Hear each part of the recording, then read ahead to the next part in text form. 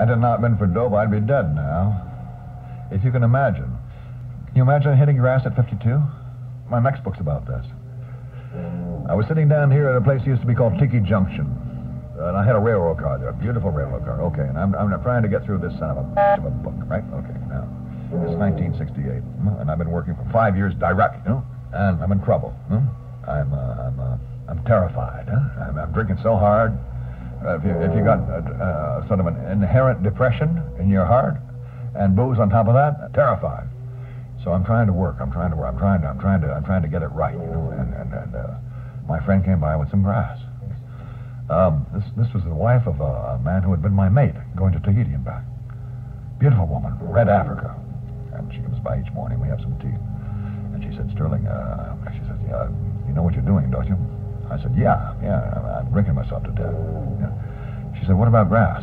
I said, well, you know, I've talked about it, you know, I've thought about it, but uh, maybe, maybe, maybe when I get through this book, you know, uh, that must be another trip, you know. So, but she said, I would like to leave some with you. So she left, you know, a little, uh, little wrapper, you know, and a, and a clay pipe, you know, 15 cent clay pipe.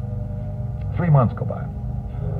And I keep busting my ass. And, and finally one afternoon, I think, uh, maybe I'll smoke a little. Huh? So, uh, so uh, I got the pipe out, and, and uh, oh, I did a funny thing. I went outside. I took my Volkswagen. I moved the Volkswagen about you know 500 yards to some new place. I come back in. I pull down all the blinds. I leave a note to myself where the Volkswagen is and where the keys are. Huh? And I sit down at the age of 52. Huh? Huh? And I start to smoke.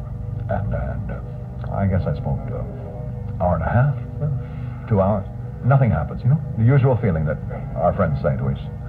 Nothing happens. And I think, well, it's four o'clock. It's time for a little red wine, you know? So I get up and I head back toward the galley in, in, in my, in my rail car where the wine is.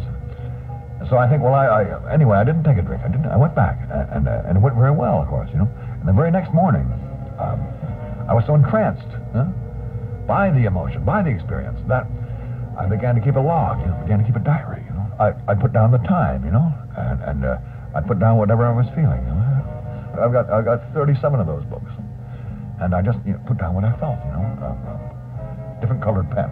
I kept changing colors. You know to differentiate huh, uh, the thoughts.